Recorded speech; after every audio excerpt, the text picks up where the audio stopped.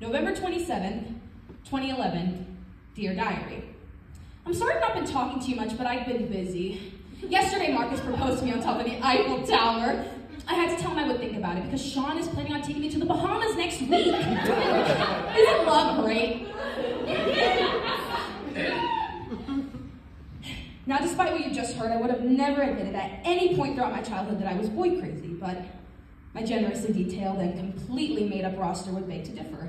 By the time I was eight, I had already experienced somewhere around 30 whirlwind relationships. Because as soon as one boyfriend stopped meeting my needs, I would just think of a new one to take his place. I mean, I just couldn't resist the temptation of an imaginary boyfriend, especially when they were so well crafted and wholeheartedly in love with me.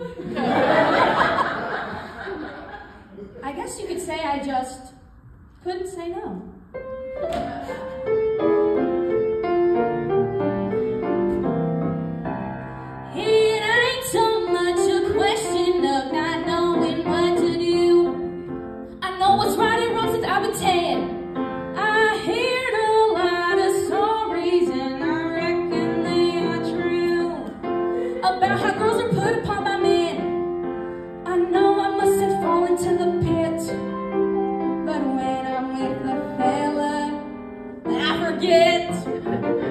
Thank you.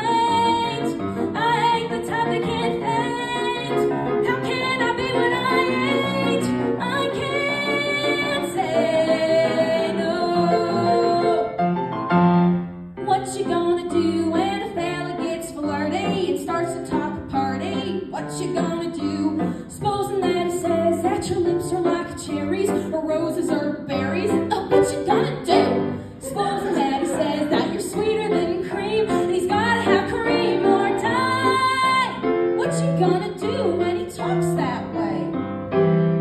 Spit his eye? I'm just a girl who can't say